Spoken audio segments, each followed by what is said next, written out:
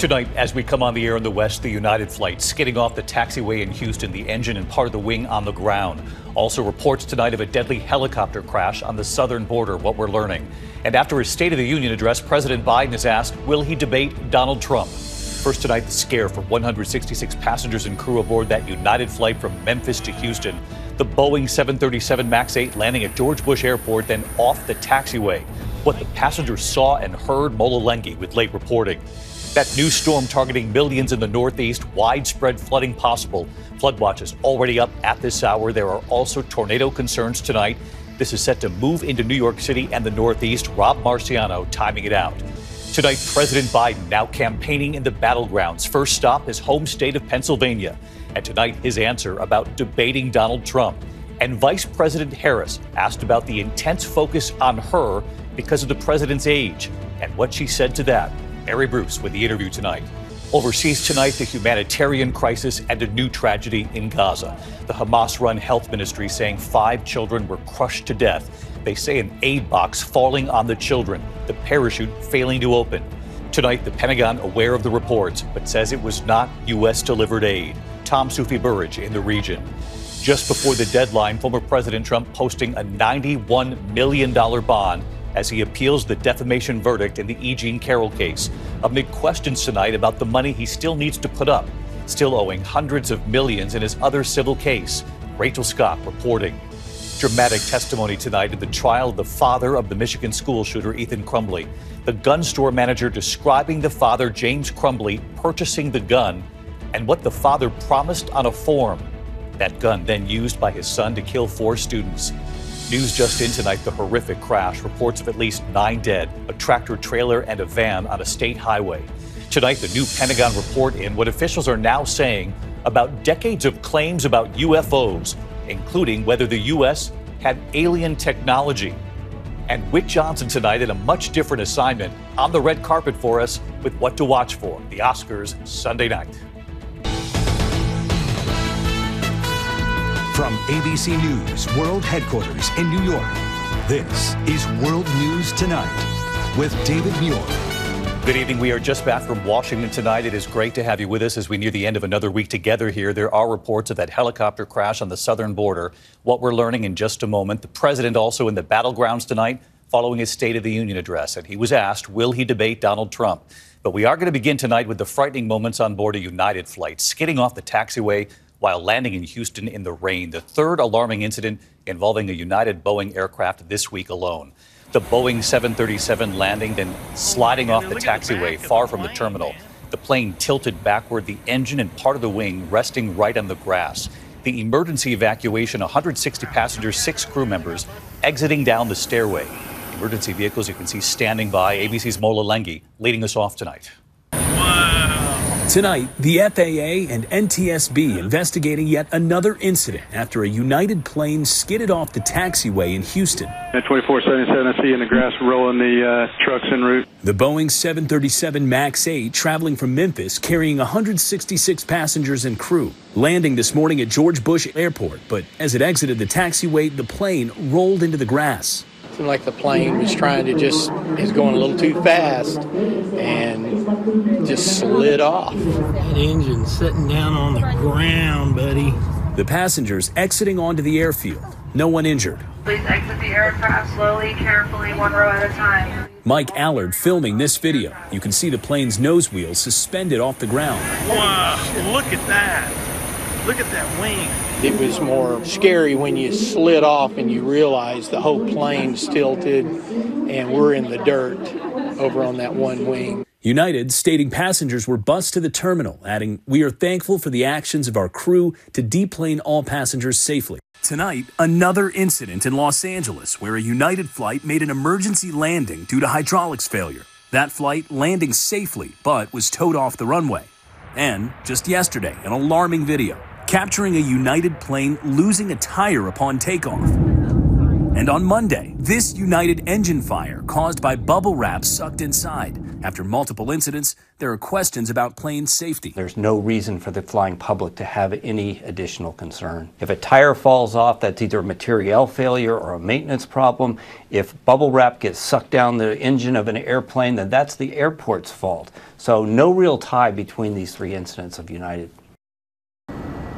Well, David, United saying tonight they take, quote, every safety incident seriously and will investigate each of the incidents that occurred this week. And Boeing saying they're providing support to United and to the investigators on the ground in Houston.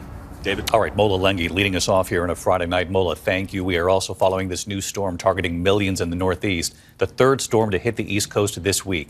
There are also tornado concerns in the South from this same system at this hour. Torrential rain and a flash flood threat across the Gulf today and up to the Carolinas tomorrow morning. By midday tomorrow, drenching rains in Washington, D.C., Philadelphia, New York City, Heavy snow possible further inland and in parts of New England. Time lapse video tonight, lightning near Fort Worth, Texas, as the storm passed through. Flooded streets in southeast Kansas, some drivers trapped in it all. Senior meteorologist Rob Marciano timing it all out for us tonight. Hey, Rob. Hi, David. This is a big system that's barreling east with two big headlines flooding and severe. The South getting them both tonight. We've got that tornado watch that includes New Orleans for the next couple of hours and a big flood watch from uh, Louisiana all the way through the Carolinas between I 10 and I 20. That's where the heaviest rain is going to be. In places like Atlanta, you've seen a lot this week, so you'll probably see some flooding tonight. And the severe threat tomorrow across South Georgia and South Carolina in the morning. And then the northern part of this thing takes shape. And look how much rain is coming to the northeast over Pennsylvania, D.C., Philly, New York by 7 p.m. That's when the heavy stuff arrives right in the metro area and then sliding up into the northeast and the higher elevations in New England will see some significant snow, especially on the backside of this, clearing out eventually Sunday afternoon. But two, three inches of rain possible. It's been a wet week here in the east, so it's not going to take much to flood over the next 48 hours. David. Rob Marciano with us. We'll track it right through the weekend with you, Rob. Thank you. Now to the race for president tonight. The Biden Trump rematch now fully underway. And fresh off his State of the Union address last night, President Biden today on the campaign trail, heading to his home state first, the must win battleground of Pennsylvania. Tonight, here, his answer when asked today, will he debate Donald Trump? And Vice President Harris tonight asked about so much attention on her, given the president's age, and what she said to that. ABC's Mary Bruce tonight with the interview. Mr. Speaker, the President of the United States. Tonight, fueled by what his campaign considers a home run State of the Union, President Biden heading straight for battleground Pennsylvania, his must win home state. Did you all see Joe last night?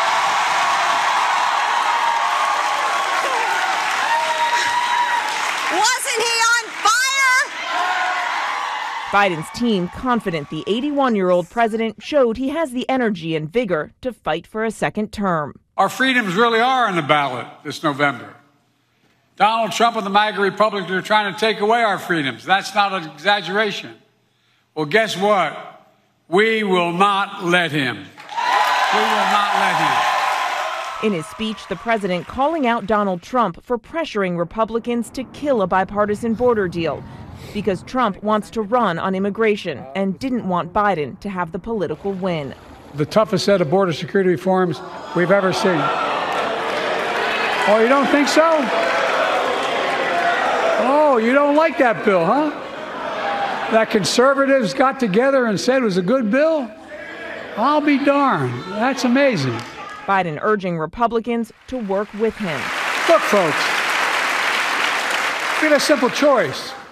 We can fight about fixing the border or we can fix it. I'm ready to fix it. Send me the border bill now. The president also sounding a campaign rallying cry on abortion, directly addressing the Supreme Court justices seated right in front of him. Look, it's a decision to overturn Roe v. Wade. The Supreme Court majority wrote the following. And with all due respect, justices, Women are not without electoral, electoral power. Uh, excuse me, electoral or political power. You're about to realize just how much you're right about. Biden thanking his Vice President Kamala Harris for leading that charge. Today, Harris hitting the campaign trail too, heading to battleground Arizona. Earlier, I spoke with her and asked about Republicans being so focused on her. We've seen this argument over and over again from Republicans that the candidate they are really running against is you, that given the president's age, there is a chance that you may have to take over for him. What do you say to voters who are sold on the president but may not be sold on you about this potential possibility? Well, first of all, I think what we saw in President Joe Biden is somebody who is prepared to take on a second term and do it with passion and do it with vigor. If necessary, which will not be the case, I am ready. But the bottom line is our president is full of vigor and passion and perspective to take on another term. And I'm standing right with him. I also asked her whether the president would debate Trump. We'll get to that at some point and we'll deal with that. Late today, Biden himself asked if he'll debate his rival. Depends on his behavior. The president is now hitting the campaign trail hard, blitzing key states in the coming days, including Georgia tomorrow and Michigan and Wisconsin next week. The president looking to capitalize on this momentum as the general election gears up. David. Mary Bruce, who was right there with us last night for the State of the Union. Mary, thank you. There are reports just coming in at this hour of a helicopter crash near the U.S. Mexico border. The Texas Department of Public Safety confirming at this hour the helicopter went down in La Grulla, Texas. Reports of possibly four people on board, a local congresswoman asking for prayers for those on board. Overseas tonight, into the new tragedy in Gaza. The Hamas run health ministry tonight saying five children were killed by a pallet of desperately needed aid that had been dropped from an airplane. The parachute did not open. Authorities say it crushed the children. Tonight, the Pentagon aware of the reports, but also adding it was not U.S. delivered aid. Tom Soufi Burridge in the region tonight. This is the moment humanitarian aid dropped from the sky over Gaza and turned deadly. Pallets raining down, that parachute appearing to fail, plunging to the ground. Chaos as desperate Palestinians run to scoop up aid. What you don't see five children crushed to death by a pallet, according to the Hamas run health ministry. Tonight, the Pentagon saying it wasn't a US airdrop that caused the casualties. We've confirmed that all of our aid bundles landed safely on the ground. With the UN saying more than half a million Gazans are facing starvation, President Biden caught on this hot mic moment after the State of the Union, speaking about Prime Minister Netanyahu. I told him,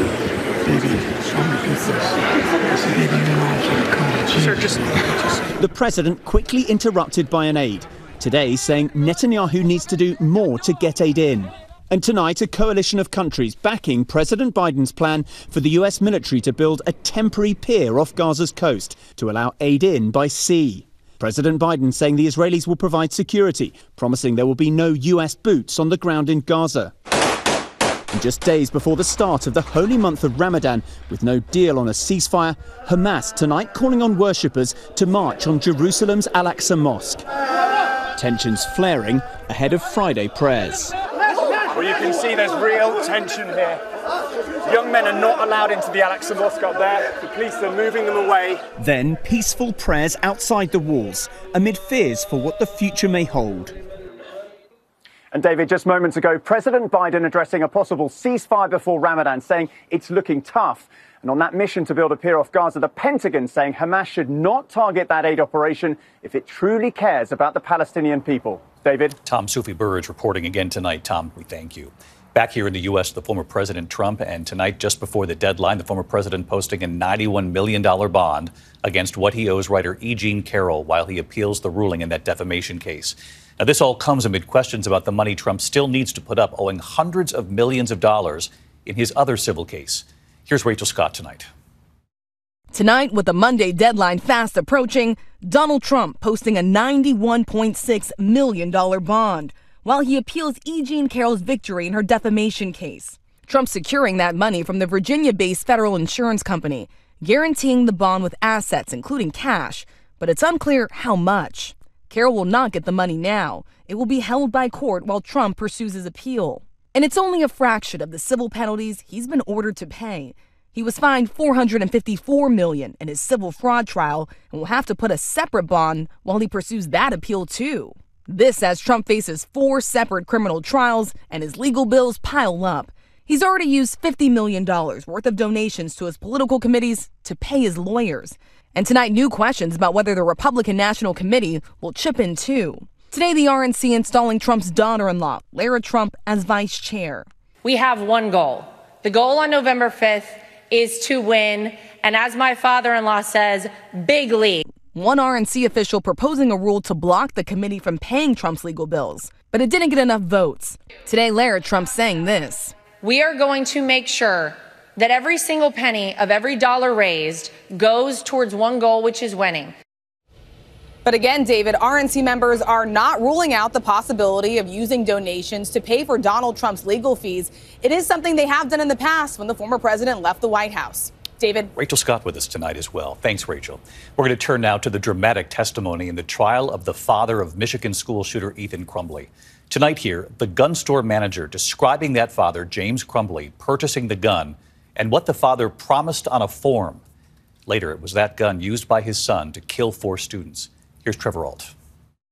Tonight, a Michigan judge restricting the jailhouse communications of James Crumbley as he's on trial for his alleged role in his son's deadly school shooting. The Oakland County Sheriff's Office saying Crumbley's access to a telephone and electronic messaging has been limited due to threatening statements he made, but did not say who he allegedly threatened. Today, the jury of nine women and six men, most of them parents, many of them gun owners, hearing from the gun store manager who sold Crumbley the weapon that his then 15 year old son used used to carry out his massacre. Said he had had his eye on that for quite some time. She testified Crumbley received this cable lock and a gun safety pamphlet with the purchase and certified on this form he was buying the gun for himself. Prosecutors playing this video, James Crumbley telling police what he did when he heard there was an active shooter at his son's high school. Immediately raced home and found the gun in his hand. That's when I called you guys. Prosecutors playing that panic 911 call. I have a missing gun, and my son is at the school. At her trial, Jennifer Crumbley testified it was her husband's job to secure the family's weapons at home. It was more his thing, so I let him handle that. James Crumbley has already been in jail for more than two years, and under this new order, he'll only be allowed to communicate with clergy or his lawyer. His wife previously testified the couple hasn't spoken to each other more than two years since they were arrested. David? Trevor Ault with us tonight. Trevor, thank you. We're going to turn now to the economy. And after President Biden touted the uh, 15 million new jobs under his watch last night, tonight, the latest jobs report showing another number exceeding expectations tonight 275,000 new jobs added last month. Unemployment ticking up slightly to 3.9%. When we come back here on a Friday night, news of a deadly crash shutting down a state highway, a tractor trailer, and a van, at least nine dead tonight. And what the Pentagon is now saying this evening after claims that has been hiding secret UFO information all these years, what a new report reveals. Tonight, we are learning more about a deadly crash between a tractor trailer and a van in Clark County, Wisconsin, southeast of Eau Claire. We're told at least nine people are dead, according to our affiliate KSTP, forcing the closure of a portion of State Highway 95 there. Tonight, an exhaustive Pentagon review of decades of classified records of UFO sightings has found no links to extraterrestrials and nothing to prove any kind of a cover up over the years. Defense officials also say the U.S. has never possessed alien technologies that it tried to reverse engineer, refuting claims by former officials who said there were hidden UFO programs. When we come back, the new and important headline involving one of those popular weight loss drugs. To the index of other news, and tonight, the FDA approving the popular drug used for weight loss, Wegovy, to treat adults with pre existing cardiovascular disease who are also overweight or obese. Recent studies found the drug helped reduce the risk of cardiovascular events by 20%. Researchers say it's not clear if people without cardiovascular disease would also see improved heart health with the drug, saying it might be the weight loss with the drug that is bringing those benefits. When we come back here tonight, one of our own standing by on the red carpet, a different kind of assignment for him tonight. What to watch for the Oscars. Finally, tonight, the Oscars are Sunday, and Whit Johnson on the red carpet tonight. David will be right here as the stars arrive on Sunday and with more access than ever before, including backstage at the so called Winner's Walk. 10 films nominated for Best Picture, Oppenheimer leading the way with 13 nominations, and all eyes on Lily Gladstone, nominated for Best Actress in Killers of the Flower Moon. She could make history as the first Native American ever to win that category. And expect extra star power on stage. Five past winners in each of the acting categories will appear together to present the awards. The last time they did this was 2009. Plus, all five Best Original Song nominees will perform. Billie Eilish could make history for her song in Barbie. Becoming the youngest person to win two Oscars at just 22 years old. Ryan Gosling also nominated and will be performing the now viral song I'm Just Ken. The song's co-writer and producer telling ABC News he wants to see Ryan on stage with a thousand Kens. A lot to watch out for this Sunday. David? We'll be watching. Whit Johnson, thank you. The Oscars, by the way, an hour earlier than normal, 7 p.m. Eastern, Sunday, right here on ABC. A big year for the movies. We'll see you Sunday. Night. Thank you for making World News Tonight with David Muir, America's most watched newscast.